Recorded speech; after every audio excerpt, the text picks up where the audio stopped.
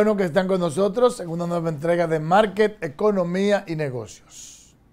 Un compendio de las noticias económicas más importantes acaecidas a nivel nacional e internacional. Yo soy Edmundo Ledesma. Para mí es todo un placer compartir con ustedes esta propuesta de análisis e informaciones económicas.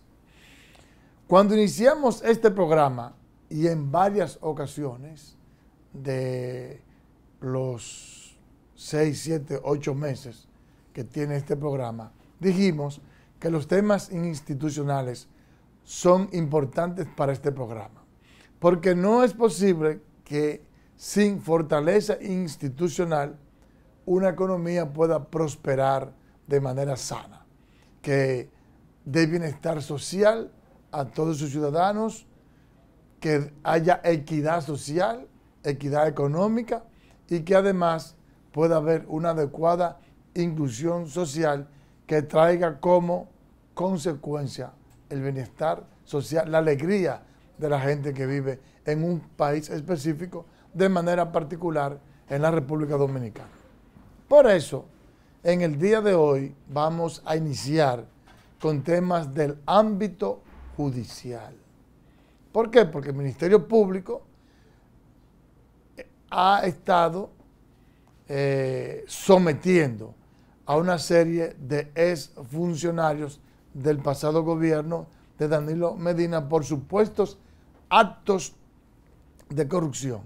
Quizás el más emblemático de todos es precisamente el de el sometimiento a el ex procurador de la República, Jane Alain Rodríguez, que por cierto, la jueza coordinadora de la Oficina de Servicios Judiciales de Atención Permanente, Keina Romero, ordenó prisión preventiva por 18 meses contra el ex procurador Jane Alain Rodríguez y otros implicados en el denominado caso Medusa.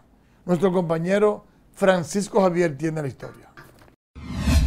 Junto a Jean Alain Rodríguez, con 18 meses de prisión van a la cárcel de Najayo, Jonathan Rodríguez Inver, Alfredo Alexander Solano y Javier Alejandro Forteza, apresados durante la operación Medusa bajo la acusación de estafa contra el Estado y lavado de activos, entre otros delitos.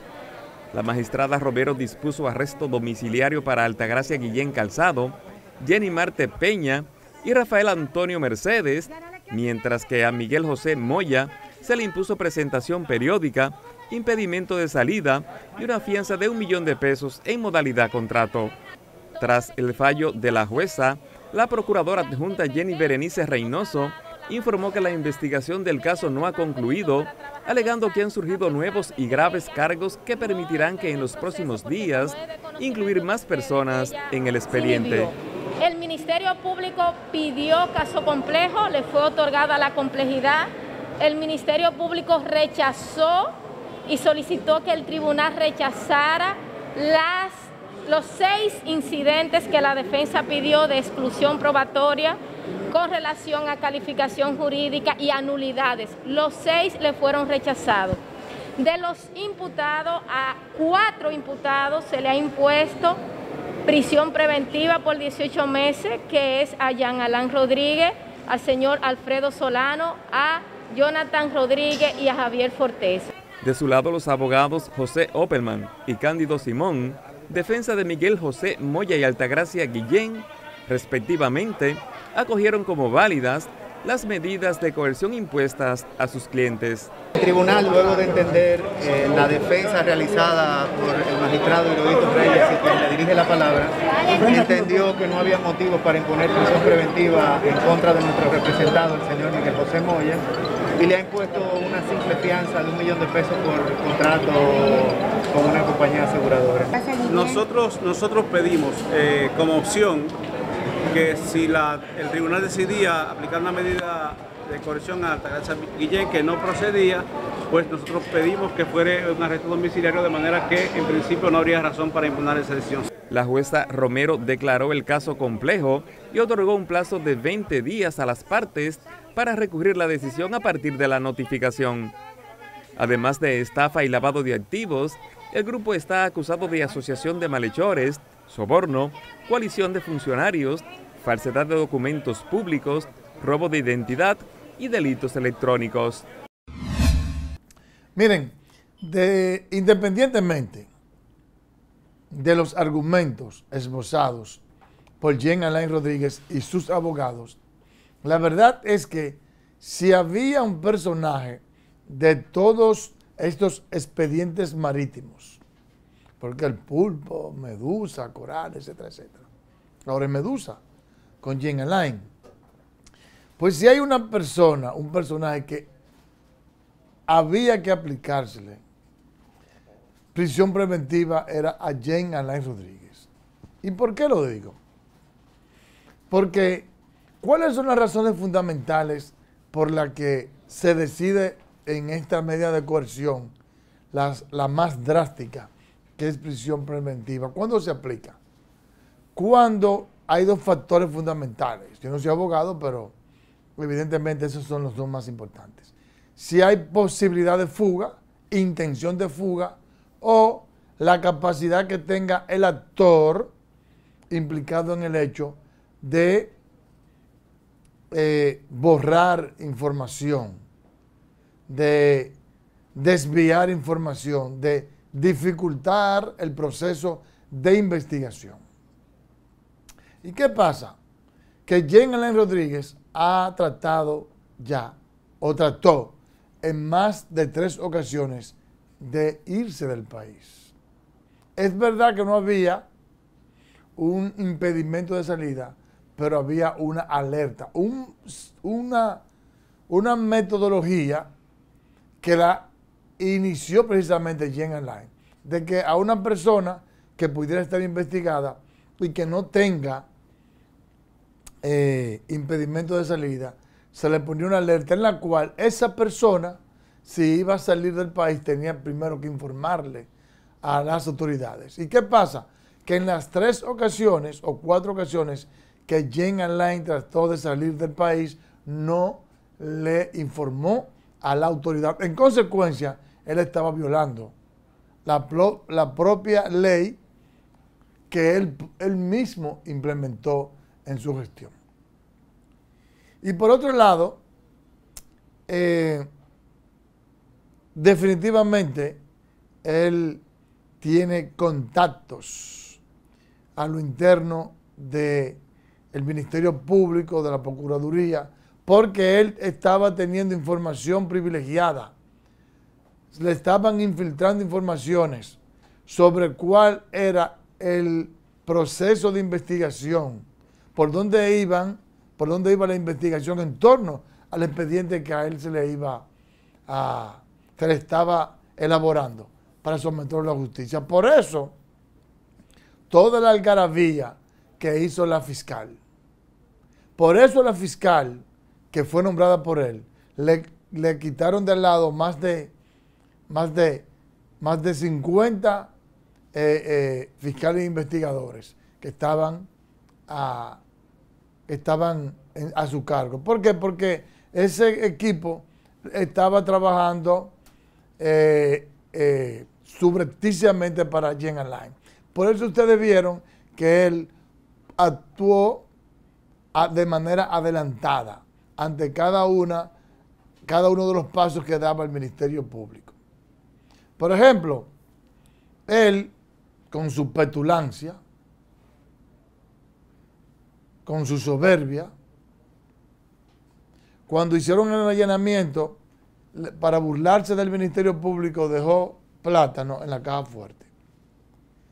Él pretendió hacer burlarse posiblemente de, de Jenny Berenice, de Wilton Camacho y hasta de la propia, propia procuradora que ya la puso, la hizo pasar un, momento bastante desagradable en aquel, eh, aquella reunión del Consejo Nacional de la Magistratura cuando ella pretendía eh, seguir en el en el eh, en la posición que tenía como jueza de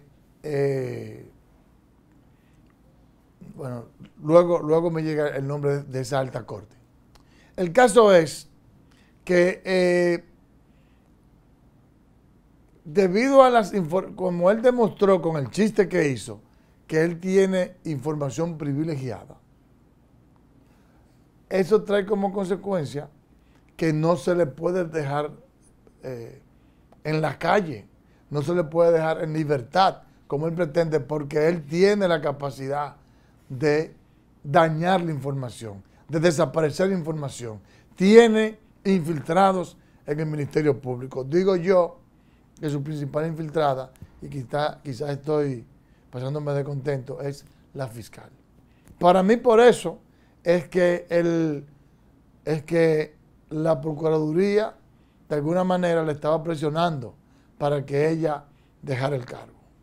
O por lo menos para que no siguiese medrando a favor del procurador. El abogado Valentín Medrano aclaró que el ex procurador, Jane Alain Rodríguez, no se le puede imputar el delito penal por el caso de la construcción de la nueva cárcel de la Victoria.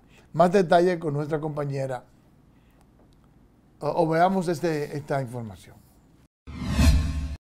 Jane Alain Rodríguez ha sido acusado de actos de corrupción en la construcción de la nueva cárcel de la Victoria.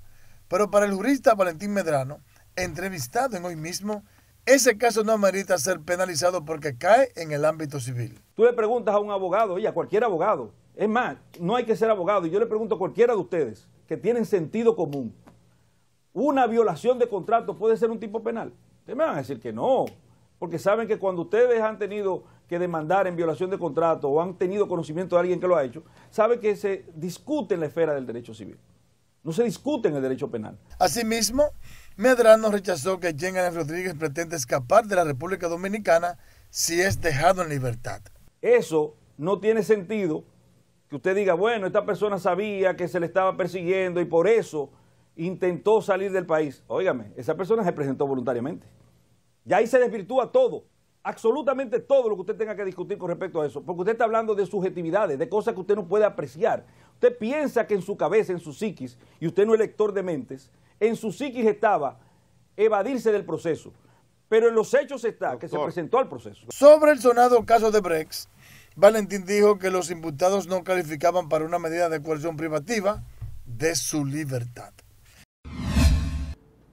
El amigo Valentín Medrano, que es un abogado brillante, pero él siempre tiene de vez en cuando algunas, algunos puntos de vista muy particulares, con frecuencia muy diferentes a la mayoría de los abogados penalistas de la República Dominicana. Yo de manera particular, no soy abogado, no estoy de acuerdo con la posición que él tiene. Yo creo que sí que Jen Line tiene muchos indicios de que, de que su gestión como procurador no fue muy limpia. No obstante, hay que respetar la presunción de inocencia, que eso lo establecen las leyes dominicanas, lo establece la Constitución, y hay que actuar acorde a la ley, y más yo, que en este programa he abogado tanto por, abogado tanto por la fortaleza, fortaleza institucional por la transparencia,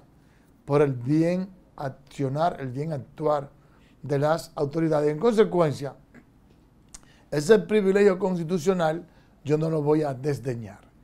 Eh, para mí hay indicios, pero hay que esperar que en el juicio oral y contradictorio, como dicen los abogados, se determine si Jane Line es o no culpable de los cargos que se le imputan. La Fundación Primero Justicia sometió al Ministerio Público una denuncia que da cuenta de que el vicepresidente del Consejo Unificado de Administración de las Empresas Distribuidoras de Electricidad, Andrés Astacio, y un grupo de abogados supuestamente se asociaron para estafar al Estado. Según detalló la fundación, el ministerio, el ministro del gobierno impulsa que ciertas oficinas de abogados se le otorguen contratos millonarios para pagar favores políticos. Jonathan González con los detalles. La Fundación Primero Justicia pidió a la Procuraduría Especializada en Persecución de la Corrupción Administrativa investigar un contrato suscrito entre el vicepresidente del Consejo Unificado de Administración de las Empresas Distribuidoras de Electricidad, Andrés Astacio, y los abogados Miguel Valerio, Luis Julio y Ramón Emilio Núñez, en el que se prevé un pago de hasta 3 mil millones de pesos correspondientes al 6% de los 50 mil millones de pesos que el equipo de abogado estima recuperará a favor del Estado. La fundación que preside Miguel Surún Hernández asegura que se trata de una adjudicación fraudulenta hecha grado a grado y que beneficia a cinco oficinas de abogados vinculadas al anterior gobierno.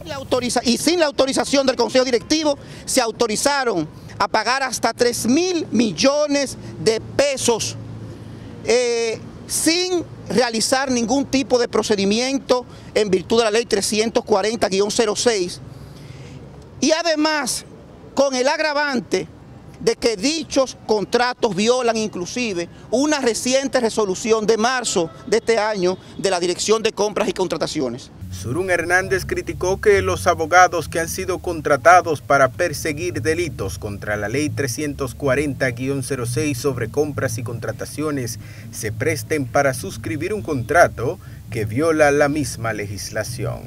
Peor aún, el Consejo Directivo de Sur prohibió la contratación en dólares, que ellos mismos lo dicen en la querella que interpusieron aquí. Y se realizó en dólares norteamericanos, en perjuicio del Estado Dominicano, que recientemente tuvo que pagar miles de millones de pesos a empresas para que siguieran operando. La fundación que denuncia las irregularidades sostiene que la práctica de entregar contratos millonarios grado a grado está siendo impulsada por un ministro del gobierno que tiene aspiraciones presidenciales y que busca pagar favores políticos. El presidente de la República, Luis Abinader, anunció este miércoles que se reunirá, reunirá con el Comité Nacional de Salarios tras el encuentro se darán a conocer noticias necesarias y buenas para los trabajadores dominicanos. El mandatario habló tras reunirse eh, por más de una hora con el ministro de Trabajo, Luis Miguel de Can, a quien visitó a su despacho.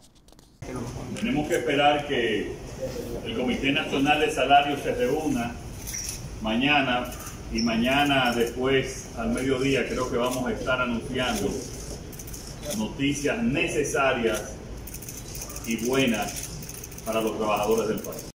Las federaciones sindicales están demandando un incremento del 40% en los salarios del sector privado no sectorizado. El presidente de la Asociación de Industrias, Celso Marancini, anunció que está dispuesto a sentarse en la mesa del diálogo con los trabajadores para discutir el incremento del salario. Una historia con nuestro compañero Ernesto Trinidad. Marrancini manifestó que hay que buscar un equilibrio para compensar la inflación y por otro lado seguir manteniendo los empleos. Manifestó que en este momento se requiere de sensatez para llegar a un acuerdo rápido que contribuya a la confianza y que permita que trabajadores y empleadores puedan salir fortalecidos de esta crisis creada por la pandemia del COVID-19. Claro que sí, nosotros estamos eh, presto a, sentarnos en la mesa una vez sea convocada para llegar a un acuerdo que, que busque un equilibrio. Consideró que realmente hay que buscar un balance para compensar la pérdida de capacidad de consumo de los trabajadores y por otra parte, las empresas que han resultado afectadas puedan seguir generando más empleo. Miren, qué bueno que esa es la actitud del sector empresarial y qué bueno maravillosa la actitud del presidente de que este miércoles anunciaría un incremento salarial. En el momento en que estoy grabando este programa, no tengo la información de cuál fue el acuerdo que se arribó con, eh, eh, eh, o mejor dicho, el anuncio que iba a hacer el presidente de la República. Posiblemente mañana hablaremos de este tema porque ya tendremos la información. Pero lo importante es que se reconozca, que se reconozca que no solamente este año, como producto de la inflación, la pérdida de empleo y lo difícil que ha sido el último año y medio, digamos, como consecuencia de la pandemia y que el salario se ha deprimido porque ha habido una inflación, sino que se reconozca que durante, los últimos 20, 25 años ha habido una depreciación del salario dominicano si se suma, si se contempla la inflación acumulada y la productividad laboral. Y es necesario resarcir la pérdida de capacidad de compra del salario dominicano, porque eso se llama empobrecer al dominicano. Cuando, como consecuencia de un aumento importante de la productividad laboral, entonces los beneficios de los empresarios se han incrementado. Entonces aquí lo que ha estado pasando es que mientras los empleados han aumentado el aporte para mejorar la rentabilidad, el incremento del capital del sector empresarial, entonces ellos están ganando menos y eso no es justo. Así que yo propongo nuevamente, nuevamente, espero que este sea el último año en el que se reúna el comité de salario. Que este año se reúnan, haya un adecuado aumento salarial y que luego se pase una ley que implique cada año el salario aumenta sobre dos factores. Uno, la inflación anual más la mejoría de la productividad laboral. Posiblemente es imposible, hizo facto, en un aumento salarial, aumentar el salario resarciendo la pérdida, la, resarciendo la capacidad de compra que ha tenido, la disminución de la capacidad de compra que ha tenido el salario dominicano en los últimos años. Entonces, la ley debe tener un acápite que diga, cada año, cada año, luego de un estudio del Banco Central, que se determine que cuál es la pérdida de la capacidad de compra del salario, entonces que se vaya, además, que se vaya además de aumentar acorde con la inflación, acorde con la productividad laboral, que también haya otro aumento extra que puede ser de un 2, 3%, hasta que se logre, hasta que se logre resarcir la pérdida de salario de los últimos 20 años. El secretario general de la Confederación Autónoma Sindical Clasista, Gabriel del Río Doñé, advirtió que, contrario a lo que han dicho sus promotores, si se llegara a construir un aeropuerto internacional de Bávaro, el mismo no sería beneficioso para el país ni para la clase trabajadora. Sostuvo que incluso se podrían perder empleos. Porque cuando se da esta situación de un, de un aeropuerto con un espacio aéreo eh, prácticamente ya ocupado, nosotros consideramos que abrir ese aeropuerto no es favorable ni para la zona ni para el país, y mucho menos para los trabajadores. Y nosotros recomendaríamos al presidente que no apruebe, que no apruebe finalmente ese aeropuerto. ¿Por qué? Porque entendemos que no va a abrir las fuentes de trabajo que ha prometido, primero, y segundo, porque, repito, el espacio aéreo está ocupado un espacio aéreo ocupado, ¿por qué tenemos que abrir un nuevo aeropuerto cuando no hay una necesidad para abrir ese aeropuerto? Explicó que actualmente ya existe un aeropuerto funcionando que ha dado resultados y ha demostrado que tiene la cantidad de empleos suficientes. Ahora vamos con el diccionario económico. Socialismo árabe, ideología política que combina elementos del socialismo con una gran vocación que trata de unificar los distintos países del mundo árabe, aunque sigue muchas de las políticas sociales y económicas del socialismo europeo. Difiere de este en que conserva una fuerte identidad cultural y espiritual árabe.